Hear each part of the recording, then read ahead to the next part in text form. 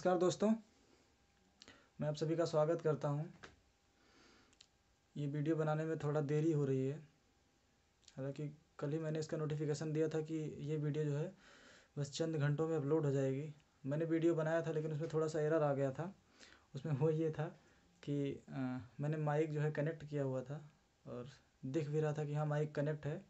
लेकिन जब मैंने वीडियो कंप्लीट की और उसको जब प्ले किया तो उसमें जो हमारी वॉइस थी वो रिकॉर्ड नहीं हुई थी ओनली वीडियो रिकॉर्ड हुआ था। ठीक है? तो आज हम फिर से उसको रिकॉर्ड करने जा रहे हैं। तो ये जो वीडियो बनाने जा रहे हैं, ये मुख्यतः उस पर बेस्ड है।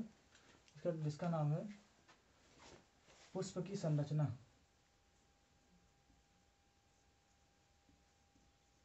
पुष्प की संरचना। ठीक दिख रहा है ना? हम्म, ठीक। पुष्प की संरचना या फिर बोल सकते हैं structure of flower structure of flower या बोल सकते हैं पुष्प के के भाग। हम कहीं भी पुष्प देखते हैं देखने में अच्छा लगता है तो उसको तोड़ लेते हैं। ठीक है? लेकिन कभी ये जानने की कोशिश नहीं करते कि उसमें कौन कौन से भाग होते हैं। तो आज हम आप लोगों को ये बताएँगे, जिसके द्वारा आप सभी ये जानने, जानेंगे कि जो पुष्प होता है, उसमें कौन कौन से भाग होते हैं और कौन से भाग का क्या कार्य होता है। ठीक है? तो देखिए, इसमें हम यहाँ से स्टार्ट करते हैं। देखिए, कहाँ से? यहाँ से। ठीक है? सबसे पहले क्या लिखा हुआ है? लिखा हुआ है पुष्प वृंत जिसको बोलते हैं क्या? पेडिकल ठीक? तो हाँ दिख रहा है ना?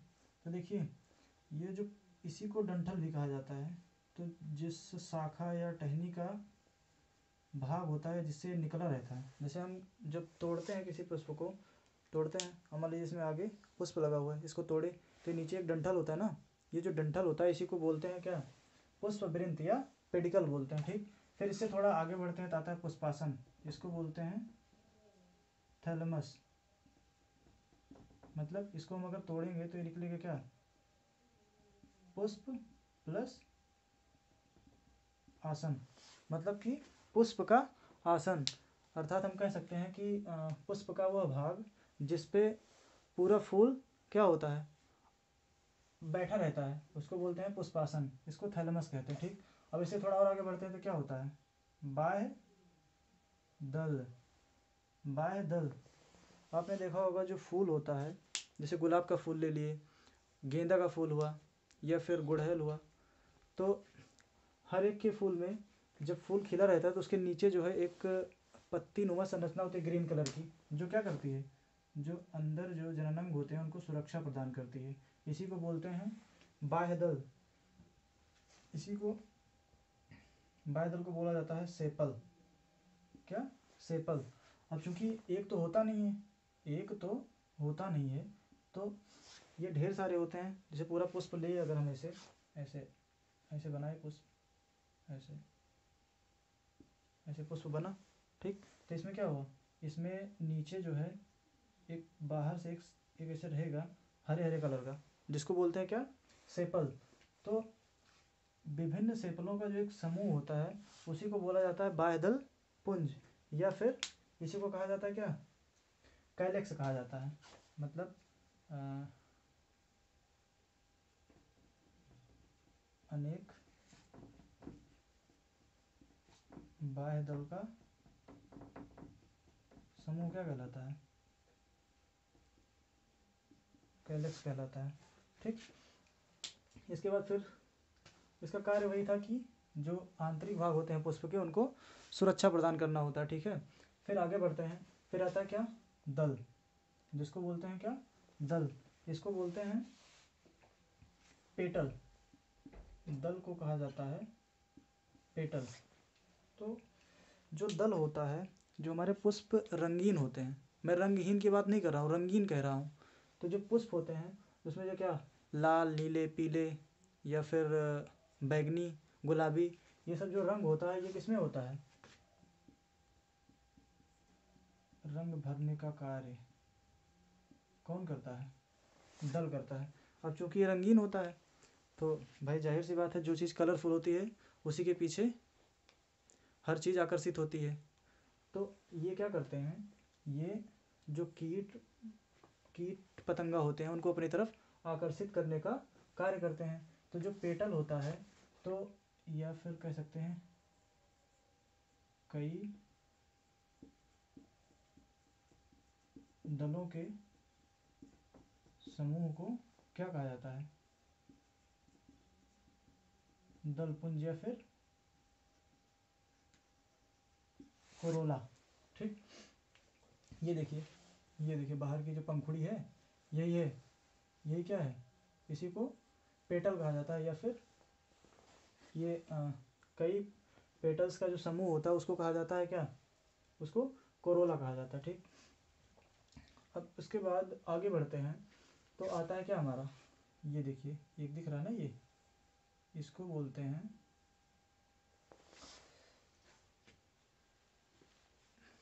पुमंग। पुमंग बोले तो पुरुष जननंग। पु पुरुष पु पुमंग। पुरुष जननंग। तो इसमें मुख्यतः तीन भाग होते हैं। पहला क्या है?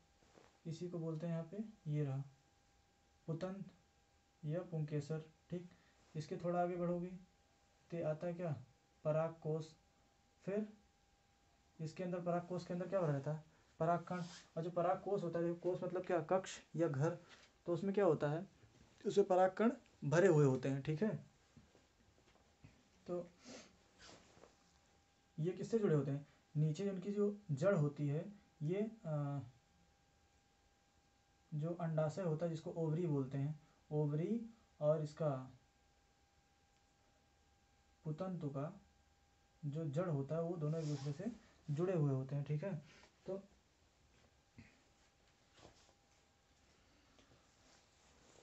कहाँ थे? पुंकेसर, परागकोश, परागकण, ठीक? अब देखिए, पुंकेसर की कुछ आंतरिक संरचना, इसको देख लीजिए पुंकेसर। इसके अंदर देखिए छोटे छोटे दाने भरे हुए हैं ना। इनको बोलते हैं लघु बीजाणु धानी। ठीक, क्या बोलते हैं? लघु बीजाणु धानी। और ये पूरा जो चैम्बर है, इसको परागकोश बोलते हैं। और इसमें देखिए एक योजी होता है, योजी। इसको क्या करता है? ये जो परागकोश होता है, दो भागों में विभक्त रहता है, लेकिन ये योजी के द्वारा एक दूसरे से जुड़ा हुआ रहता है। आपने देखा होगा कि जो सरसों के खेत में हम लोग घुसते हैं तो हमारे के कपड़ों या हाथों पे एक येलो येलो कलर का छोटे छोटे से पार्टिकल के रूप में लग जाता है। तो आप लोग मुझे कमेंट करके बताइएगा वो क्या होता है, जो हम लोगों के हाथों पे लगता है, हाथों या कपड़ों पे लगता है, वो क्या होता है, ठीक? अब इसके बाद फिर आगे बढ़ते हैं तो आता है क्या? जायम जायम को बोलते हैं क्या? गायनोसियम। ठीक है?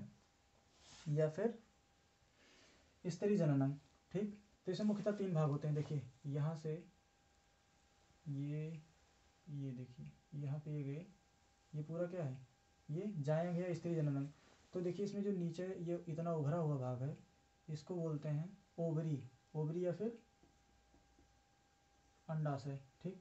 फिर ओवरी के अंदर में क्या होता है? ओव्यूल या फिर जिसको बोलते हैं जिनको बोलते हैं हेलो? हम्म। थोड़ा सा टेक्निकल प्रॉब्लम थी। हम्म। तो हम कहाँ थे?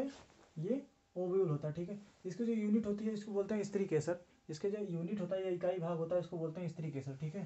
तो ये क्या होता है? बीजांड या इसका ओव्यूल कहते हैं। और ये जो पूरा जायंग होता है, ये पूरे पुष्प का सबसे सेंसिटिव पार्ट होता है और सबसे सुरक्षित भी होता है क्योंकि सबसे अंदर में होता है ना तो ये सबसे सुरक्षित होता है, ठीक है?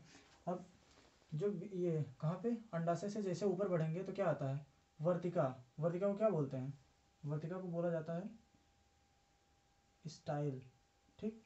वर्तिका से थोड़ा और ऊपर बढ़ेंगे तो ये आता है क्या? वर्तिका का अग्रभाग। जिसको बोलते हैं क्या? वर्तिकाग्र। वर्तिका का अग्रभाग जिसको बोलते हैं वर्तिकाग्र, ठीक है? वर्तिकाग्र को कहा जाता है स्टिग्मा स्टिग्मा, ठीक? ये हो गया स्टिग्मा। तो एक बार आइए हम फिर से समझते हैं कि देखिए, पुष्प, ये हो गया पुष्प के दो मुख्य जनन अंग। एक क्या हो गया? एक हो गया सहायक जनन अंग। दूसरा?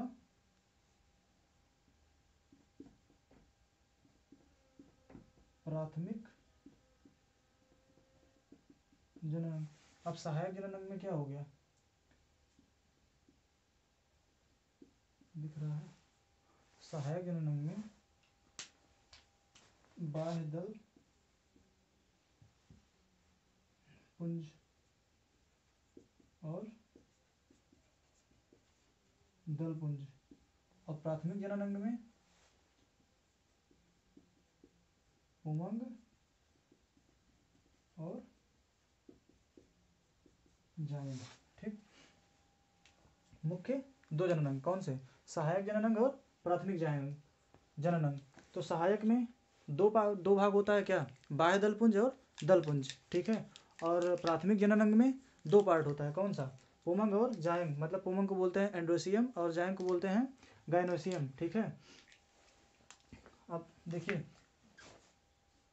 बायदल ये वाला जो हरा वाला पार्ट होता है पुष्प का जो सबसे नीचे का हरा वाला भाग होता है, उसको बायदल पुंज कहते हैं, ठीक है? उसके इकाई को बोला जाता है सेपल, उसके अगर एक एक पंखुड़ी को तोड़ा जाए तो उसको बोलते हैं सेपल। ठीक है, इसका मुख्य कार्य क्या होता है?